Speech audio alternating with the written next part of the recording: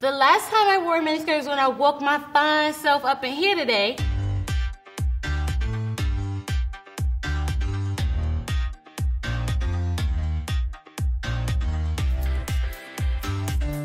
When I think of miniskirts, I think of my high school uniform. I think of uncomfortable. When I think of miniskirts, I just get really excited. I think of my legs because they're my favorite part of my body. I do not own a mini skirt, but I kind of like this one, so I think I might own one again. If the waist is too big, it looks kind of baggy or it just like falls down, which is not ideal. Like if a skirt isn't fitted enough at your waist, yeah, it does keep riding up. Oh, mini skirt gapping is a huge problem. it makes like a gap between my back and the skirt, which I don't like. I think uh, one of the biggest issues I have when it comes to mini skirts is finding a skirt that's actually a mini skirt because I'm petite and it runs pretty long. Yeah, I don't like it when they're too long because I'm short. I like short skirts it's because it makes my legs look longer. I actually think mini skirts make me look a little taller. Because I'm so tall, it's hard to find mini skirts that are long enough um, in the back more so because I have hips and a big butt. Usually they're too short since I'm already tall myself. I feel like mini skirts are just like a lot of work to find ones that like make you feel good, that feel comfortable people. I don't know how to do it. I would rather just not have to worry about shaving my legs and whatnot. A lot of the mini skirts that I've worn in the past just had a lot of spandex and stretch in them. The ones that are spandex with no real kind of control kind of tend to rise,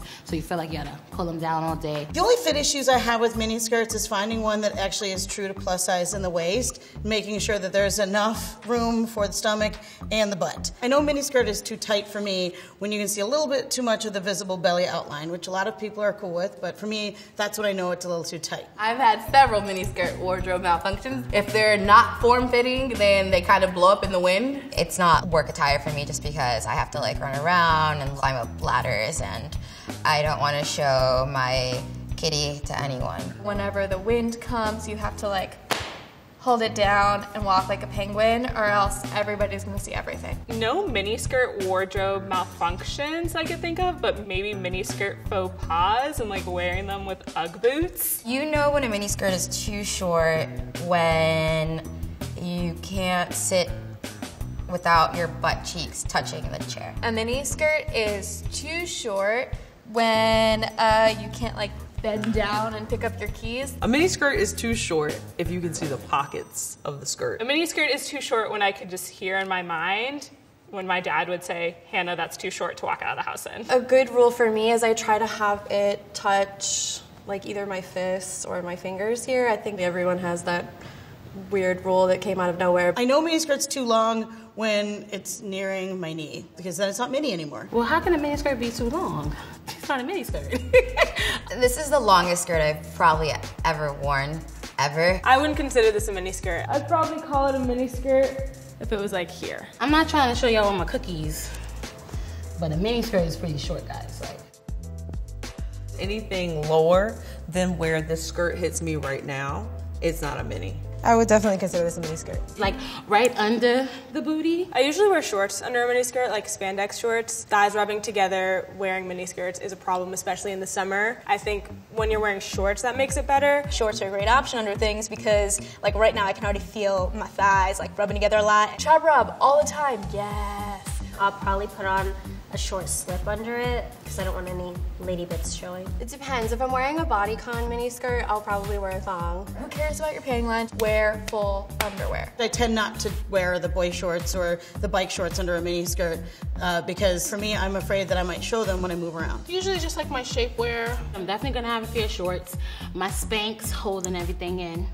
So Spanx shorts. Spanx shorts. Just get them together. I feel a little bit self-conscious today in this mini skirt because it's been a while since I've worn one. My weight like fluctuates a lot, so when I'm like on the skinnier side, I get kind of self-conscious about my legs. Sometimes in mini skirts, I feel a little bit self-conscious about my middle. Oh, I've definitely felt self-conscious showing my legs. I don't feel like my legs are pretty enough. I've definitely felt self-conscious in a mini skirt with having a bigger butt and hips walking around with it riding up in the back. You're always kind of like paranoid. Mini skirts are actually how I first found my body confidence. I thought it was an item of clothing that fit me really well and sort of showed me assets I didn't realize I had. I feel like mini skirts can get a bad rap, along with a lot of other items we wear out of the closet that may draw attention or maybe a little revealing. But you know, it's you get one body, you get one life. If you're so concerned about what I'm wearing that it bothers you, then you should get a hobby. I feel great in a mini skirt. I feel sexy and powerful in a mini skirt. I really like the way it hugs my curves. Really like the way it lies on my waist. Mini skirts rock. I feel amazing. I'm all about body, so this is like right up my alley. Mini skirts are awesome and everybody should own one.